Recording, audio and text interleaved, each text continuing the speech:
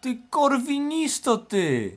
A co, ja bimber prowadzę sam i, be- bez, nie mówię nikomu, że to korwinisto, no po prostu lubię pić. A zapłaciłeś od tego potrzebne opłaty? Nie, bo państwo alkoholików traktuje lepiej i mogę pić. Och, nie mam kontrargumentów.